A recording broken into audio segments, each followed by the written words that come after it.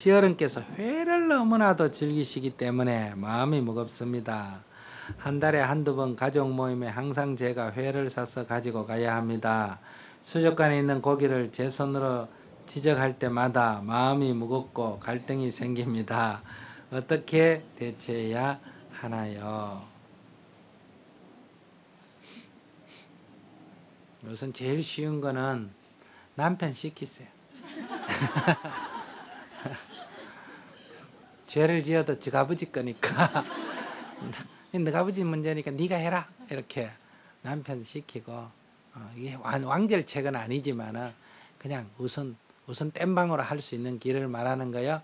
그러니까 남편에게 여보 여보 이렇게 술 한 잔 사주면서 근데 내가 말이야 아버지가 회를 좋아하시는데 나는 그 물고기 눈 딱 보고 그 도저히 지적을 못 하겠다. 어?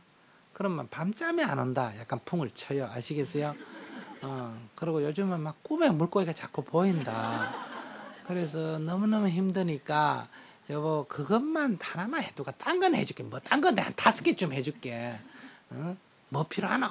해줄 테니까 그것만 당신이 한번 하면 어떻겠냐. 이렇게 하는 방법이 하나 있어. 근데 이번 애교가 좀 없나 봐. 그런 게 있고. 두 번째는, 두 번째는, 이, 장만해 놓은 것. 지적하지 말고 아시겠어요? 장만해 놓은 것. 어, 장만해 놓은 거를 사다 드리는 방법이 있다. 어, 그러고 정말 싫으면, 싫은 걸 버리는 건 수행이긴 한데, 그래도 이제 아버님한테 얘기를 한번 하는 거는 괜찮아요.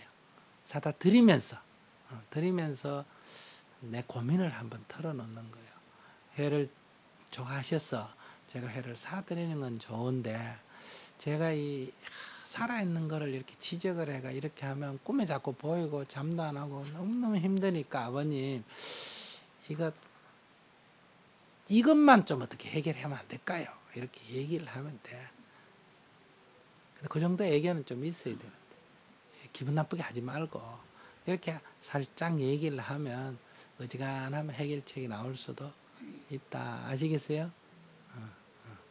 그러니까 남의 식사 습관에 대해서 너무 간섭하려고는 하지 말고 그게 잘 됐다 잘못됐다 살생하지 않냐 이렇게 너무 따지지 말고 내가 안 하면 되는 거지 남, 남의 음식 식성 갖고 내가 너무 따질 필요는 없어 그러나 이게 나하고 관계가 있고 그러니까 일단은 어, 그렇게 해서 어, 뭐랄까 식성을 바꾸든지 안 그러면 사, 꼭 살아있는 거 잡지 말고 죽어 있는 거라도 또는 미리 장만해 놓은 걸 갖다 사다 드리든지 이렇게 연구를 조금 해봐요. 어.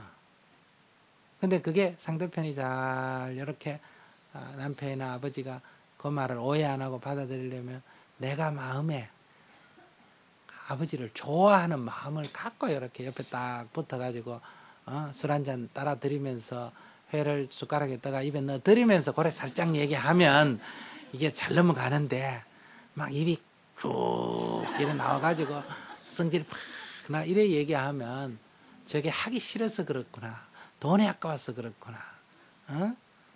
이렇게 이제 오해할 소지가 있다 이 말이야 저게 괜히 싫으니까 어? 종교 핑계 대고 어? 저리 지만 다니나 난 안 다니나 이제 이래 이래 기분이 나빠진대.